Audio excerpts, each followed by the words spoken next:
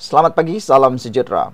Ini saya kongsikan dengan anda semua faktor kemenangan Barisan Nasional AMNO dalam PRK Dun Nenggiri. Saya sudah bacakan sebelum ini faktor kekalahan Perikatan Nasional Parti Bersatu dalam pilihan raya Dun Nenggiri. Ada 10 sebab, 11 sebab mengapa Perikatan Nasional kalah teruk dengan undi majoriti 3.300 padahal sebelum ini Perikatan Nasional menang 810 undi sahaja. Tapi apabila AMNO menang, mereka meningkat sehingga 3.000 undi atau lebih kurang 300 peratus undi majoriti. Sekarang saya kongsikan kepada anda dapatan seorang penulis blog di Facebook iaitu faktor kemenangan Barisan Nasional dalam pilihan raya Dun Nenggiri. Faktor yang paling utama ialah kerana faktor nasional atau isu nasional. Faktor pertama kemenangan Barisan Nasional AMNO ialah isu penarikan subsidi diesel yang kononnya mahu dimaikan oleh pemimpin utama PAS sebenarnya dilihat betul-betul tidak berkesan.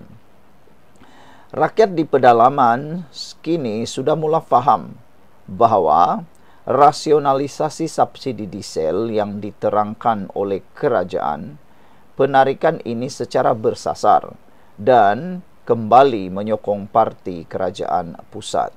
Makna kata, apa pun mereka spin pas spin isu penarikan subsidi diesel ini sudah tidak berguna lagi. Faktor kedua yang menyebabkan kemenangan Barisan Nasional AMNO ialah nombor dua, penjawat awam dan keluarga penjawat awam kini mula berterima kasih kepada parti kerajaan pusat kerana telah pun menaikkan gaji daripada 7 hingga 15% tahun ini. Kini, rakyat mula berterima kasih kepada kerajaan pusat, terutamanya Datuk Seri Anwar Ibrahim yang berusaha keras menaikkan gaji penjawat awam selepas 12 tahun tiada kenaikan. Walaupun blogger-blogger, tentera cyber, pembangkang Perikatan Nasional walaupun cuba menggunakan isu gaji ini untuk mempengaruhi pengundi di Dunenggiri tetapi nampaknya isu itu tidak berjaya sama sekali kerana sebenarnya penjawat awam sudah 12 tahun tidak menikmati jangankan 1%, 2% pun, 3% pun, 10% pun tak pernah naik. Jadi dengan adanya kenaikan ini meskipun tidaklah seperti yang dikehendaki. Kerana ada rakyat yang mahu sehingga 30 25% tetapi haruslah difikir bahawa perkara-perkara itu secara relevannya mesti rasional kita berfikir.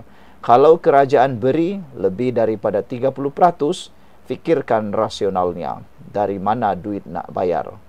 Kita tidak mahu negara kita tergadai miskin dan bankrupt Faktor ketiga kemenangan Barisan Nasional AMNO ialah tahap ekonomi Malaysia sampai 5% lebih. Kenaikan mata wang dan pengekalan OPR 3% memberikan kestabilan ekonomi, harga getah dan sawit mahal. Oh, ini paling best. Kemarin semalam baru saya tahu bahawa harga getah kini telah dinaikkan sehingga RM4.50. Itu maklumat yang diberikan oleh netizen dalam ruangan komen live saya semalam. Manakala harga sawit pula juga telah pun dinaikkan menyebabkan pendapatan pengundi di kawasan pedalaman khususnya seperti Dun Nenggiri yang merupakan dari pedalaman kini menjadi stabil dan mereka makin faham usaha baik kerajaan Madani yang dipimpin Perdana Menteri ke-10 Datuk Seri Anwar Abdul Ibrahim dan Datuk Seri Zahid Hamidi dibuat sekarang.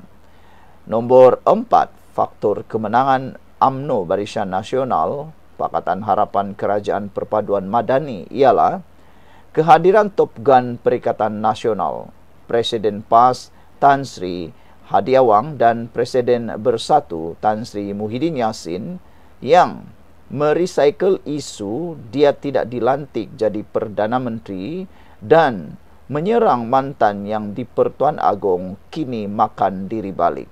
Rakyat dah muak dengan muka Perdana Menteri dan Duta Timur Tengah, kerajaan gagal tebuk atap dan backdoor kerana ia satu pengkhianatan. Bahagian ini, faktor keempat ini paling menarik perhatian saya. Kehadiran Top Gun iaitu Perikatan uh, Top Gun Perikatan Nasional. Orang paling besar dalam Perikatan Nasional, seorang presiden PAS, seorang lagi presiden bersatu, dua-dua parti yang besar yang ada dalam Perikatan Nasional tidak membantu kempen Perikatan Nasional bahkan menjadi penyebab kepada muaknya para pengundi. Bayangkan Presiden PAS dan Presiden Bersatu menggunakan merecycle semula isu yang pernah mereka guna sebelum ini. Isu dia tidak dilantik jadi Perdana Menteri. Dan yang lebih malang lagi, menyerang pula mantan YDP Agong kini makan diri. Tindakan mereka itu telah membuatkan rakyat menjadi muak dengan muka Perdana Menteri dan Duta Timur Tengah Kerajaan gagal tebuk atap atau backdoor kerana ia sebenarnya satu pengkhianatan.